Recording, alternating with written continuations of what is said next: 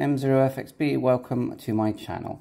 I've got this Yaesu FT5D, which I think is a fantastic radio. VHF, UHF, wideband, APRS, Bluetooth, GPS. It just goes on and on. Lovely screen, touch screen. I just love it. Someone messaged me and said they had a crack in theirs. So they sent me some photographs. Have a look at the photographs.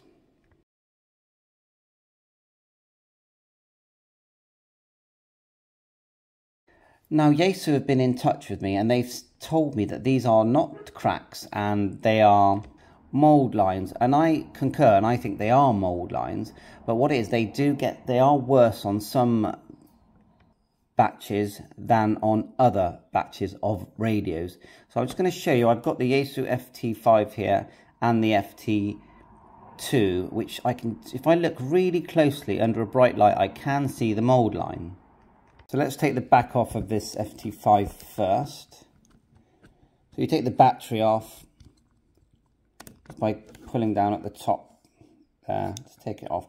And the line, and this is the hard bit, I'm just going to try and zoom in. I'll show you where it is. Just get a, better, a better focus here. The line, the mold line is here.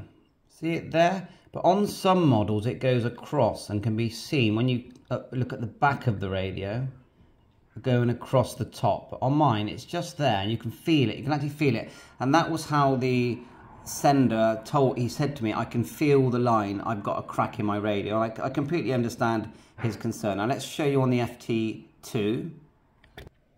There's our FT2D, which I, I've kept because I just really like it. I like the size of it. I just like the way it feels. So let's show you the line.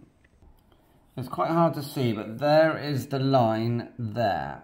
Okay, just about here. And in this case, there isn't much of a, a side part to look at, the way it would show, if that makes any sense. Just, uh, you know, this side. This, this side here, so you can't really see anything on mine. So, you know, Yaesu have said this does appear on uh, the FT1 and the FT2, FT3, and they are mold lines and normally you wouldn't notice them because they're on the back, you know, partially hidden by the battery. Fair enough.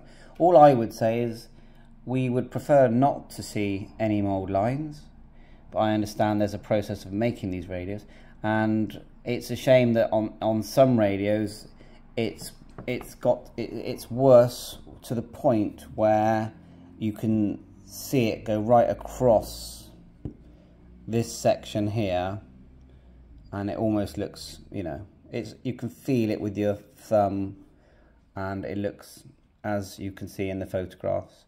So 7.3, thanks for watching my channel. Catch you on air. All the best. Mould lines are sort of part of the process. If you look here, there's just to the left of it's the key on the 991. There's a line there, very thin, hardly noticeable. I've seen it before. That's a mould line.